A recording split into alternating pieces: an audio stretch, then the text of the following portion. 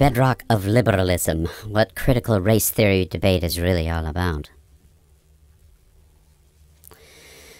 As the origins of our current moral panic about white supremacy become more widely debated, we have an obvious problem. How to define the term critical race theory? This is never going to be easy, since so much of the academic discourse behind the term is deliberately impenetrable, as it tries to disrupt and dismantle the Western concept of discourse itself. The sheer volume of jargon words and their mutual relationships, along with the usual internal bitter controversies, all serve to sow confusion. This conceptual muddle also allows anyone to have their own definition and gives critical theorists the opportunity to denounce anyone from the outside trying to explain it. So, it may be helpful to home in on what I think is a core point. No, I'm not a trained critical theorist, but no one should have to be in order to engage a field of thought with such vast public ramifications. But I have spent many years studying political theory, which is why perhaps I am so concerned. And for me, the argument is not really about race, or gender, or history, or identity as such.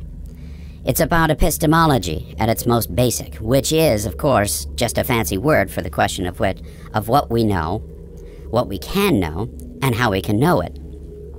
It's the beginning of everything in any political system.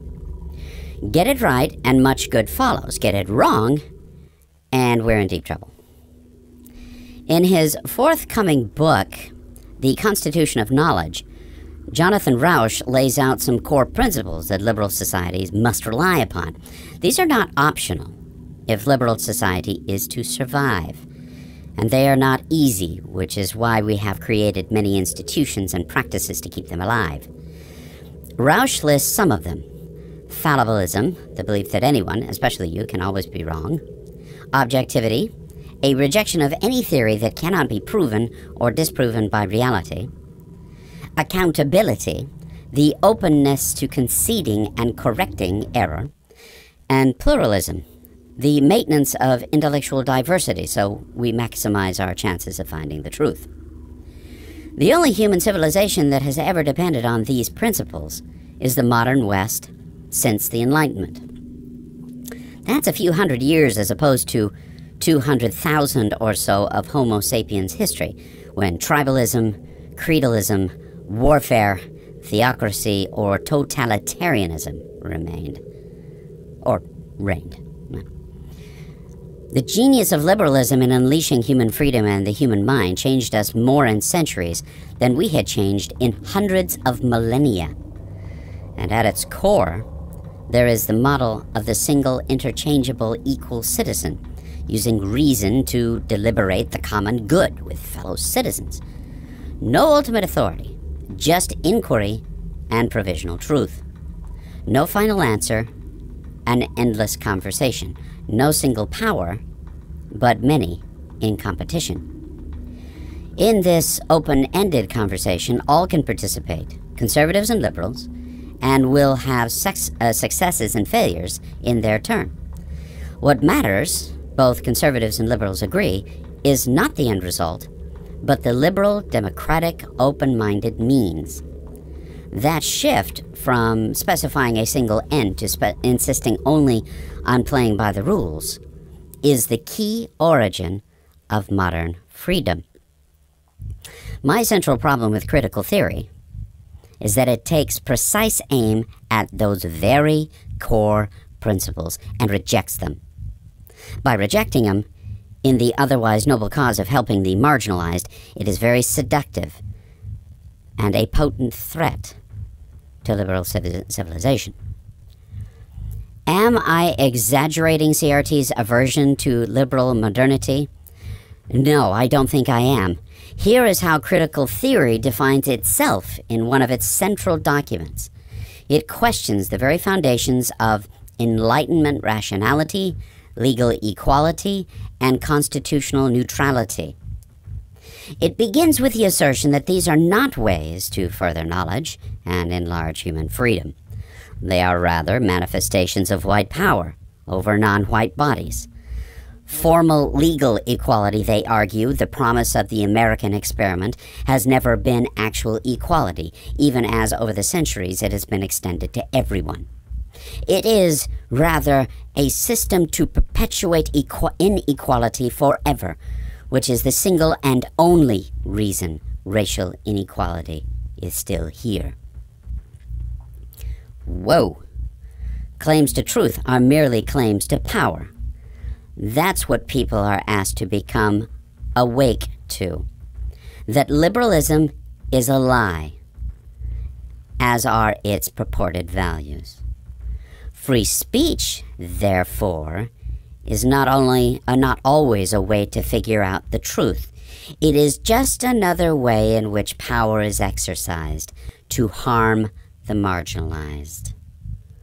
The idea that a theory can be proven or disproven by the empirical process is itself a white supremacist argument, denying the lived experience of members of identity groups that is definitionally true, whatever the objective facts say. And our minds and souls and institutions have been so marinated in white supremacist culture for so long Critical theorists argue that the system can only be dismantled rather than reformed. The West's idea of individual freedom, the very foundation of the American experiment, is, in their view, a way merely to ensure the permanent slavery of the non white. And nothing has really changed since the beginning. Slavery, segregation, mass incarceration are just different words for the same experience of oppression. Our world is just a set of interlocking forms of oppressive structures and has been since the West's emergence. Yes, I know this all sounds highfalutin, but I honestly don't think what I have described is a straw man. It is rather the core argument. I also know that the vast numbers of people who have adopted this rejection of foundational liberal principles often know only bastardized versions of this and believe that they are merely helping encourage racial insensitivity and tolerance.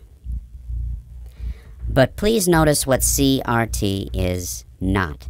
It is not an open minded inquiry into buried history, a way openly to a way openly to acknowledge the true brutality and evil the white supremacy once was, to stop whitewashing the past, and to face squarely the evils that America has contained, evils that continue to echo today. That project is a profoundly worthy one and overdue. Countless historians, black and white, operating in the liberal tradition, have done this. They need to do more of it. We have indeed prettified and airbrushed the near genocidal system of labor camp gulags this country once designated to people entirely because of their race. We have forgotten some of it because it is convenient. If this were the central thrust of CRT, I'd be among its strongest defenders. The 1619 project is a case in point. It doesn't just expose some of the hideous past we'd rather forget. It insists that white supremacy, as such, is the definition of the United States, that its true founding was therefore 1619, that its core principle from the get go was not freedom, but slavery, that slavery is the true basis for American wealth, that the police today are the inheritors, uh, inheritors of slave patrols, that only black Americans fought to end slavery, and so on. It insists that the Declaration of Independence was false, not merely imperfectly implemented, and designed to obscure the real project of racist oppression. And its goal is the dismantling of liberal epistemology, procedures, ideas, and arguments in order to revolutionize, revolutionize what cannot by definition be reformed. And by it, I mean CRT. CRT's goal is the dismantling of liberal epistemology, procedures, ideas, and arguments in order to revolutionize what cannot be, by definition, reformed. This is what makes CRT different. When it began, critical theory was one school of thought among many, but the logic of it It denies the core liberal premises of all other schools and renders them all forms of oppression. That means it cannot long tolerate those other schools. It must always attack them. Critical theory is therefore always the cuckoo in the academic nest. Over time, it throws out its competitors, and not in open, free debate. It does so by ending that debate, by insisting that the liberal, reasonable person standard of debate is, in fact, rigged in favor of the oppressors, that speech is a form of harm, even violent harm, rather than a way to seek the truth. It insists that what matters is the identity of the participants in the debate, not the arguments themselves. If a cis white woman were to make an argument, a Latino trans man can dismiss it for no other reason than that a cis white woman is making it. Thus, identity trumps reason. This liberal society dies a little every time that dismissal sticks. Every time a liberal institution hires or fires someone because of their group identity rather than their individual abilities, it is embracing a principle designed to undermine the liberal part of the institution. Every university that denies a place to someone because of their race is violating fundamental principles of liberal learning. Every newspaper and magazine that fires someone for their sincerely held beliefs or because their identity alone means those views are unacceptable is undermining the principles of liberal discourse. Every time someone prefers to trust someone's subjective, lived experience over facts, empiricism, and, and any attempt at objectivity, liberal society dies a little.